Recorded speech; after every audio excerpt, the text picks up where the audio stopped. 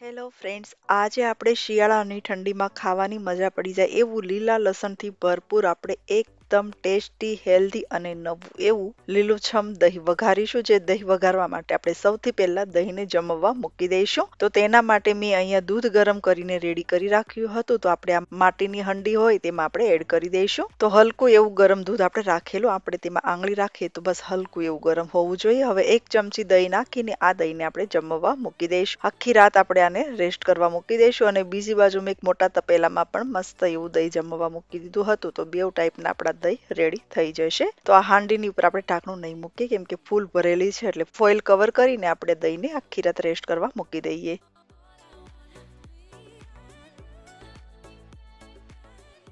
તો હવે હું ત્રીજા દિવસે આ દહીંને જોઈ રહી છું. આખી રાત રેસ્ટ કરવા મૂક્યું હતું અને આખો દિવસ આપણે આ ફ્રીઝમાં મૂકી દીધું હતું. એકદમ સરસ મજાનું ઘાટું અને સરસ એવું આપણું દહીં જામી ગયું અને બીજી બાજુ આપણે બીજા તપેલામાં દહીંને જમવા મૂક્યું હતું તે પણ સરસ રીતે જામી ગયું. તો શિયાળામાં પણ સરસ દહીં જામતું હોય છે. હવે આમાંથી ત્રણથી ચાર ચમચા જેટલું આપણે દહીં વઘારીશું. તો તેના માટે એક મોટા વાસણમાં ચાર ચમચા જેટલું દહીં લઈ લઈએ.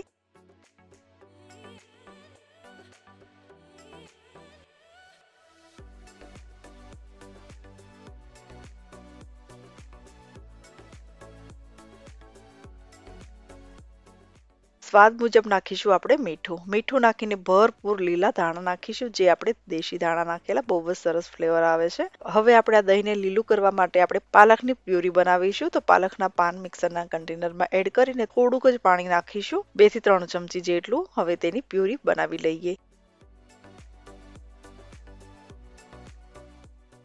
આવી રીતના પ્યુરી બનાવીને આ પ્યુરી આપણે દહીંમાં એડ કરી દઈએ. આનાથી કલર પણ સરસ આવશે અને ખાવામાં પણ હેલ્ધી તો હોય જ છે. હવે ઉપરથી થોડુંક લીલું લસણ નાખીશું. હવે ઉપરથી લીલું લસણ નાખીને હવે આ દહીંમાં આપણે વઘાર કરીશું. તો વઘાર કરવા માટે ગેસની ઉપર એક પેન મૂકીને પેનમાં બેથી ત્રણ ચમચી જેટલું તેલ ગરમ થવા દઈશું. તેલ ગરમ થઈ જાય એટલે અડધી ચમચી વરિયાળી નાખવાની. વરિયાળીનો ફ્લેવર બહુ જ સરસ આવે છે. અડધી ચમચી જેટલી હિંગ હવે ઉપરથી નાખીશું કટ કરેલા લીલા મરચાં. બહુ બધું લીલું લસણ નાખીશું, જે આપણે કાચું લસણ પણ દહીંમાં એડ કરેલું અને વઘારમાં પણ એડ કરેલું. હવે ઉપરથી મીઠા લીમડાના પાન નાખીશું. સરસ રીતે સોતે કરી લઈશું બધી વસ્તુને. ફરીથી હું લીલું લસણ નાખીશ.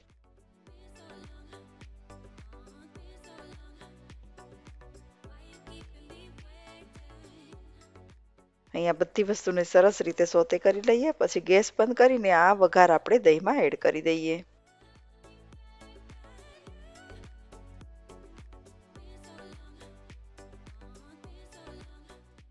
તો આવી રીતના તડકો નાખીને સરસ રીતે દહીંને મિક્સ કરી લઈશું અને બહુ જ સરસ લીલા લસણથી ભરપૂર આપણું વઘારેલું દહીં બન્યું હતું, જે આપણે લીલા ટેબરાની સાથે સર્વ કરીશું. તો લીલા ઢેબરાની રેસીપી જો તમને જોઈતી હોય તો તેમની લિંક હું તમને ડિસ્ક્રિપ્શન બોક્સમાં આપી દઈશ, જે આપણે ભરપૂર લીલું લસણ, પાલક નાખીને જેના ઢેબરા બનાવ્યા હતા તે બહુ જ સરસ બન્યા હતા. હવે ઉપરથી થોડાક લીલા ધાણા નાખીને જે હાંડીમાં આપણે દહીંને જમવા મૂક્યું હતું તે હાંડીમાં આપણે દહીંને સર્વ કરી લઈશું.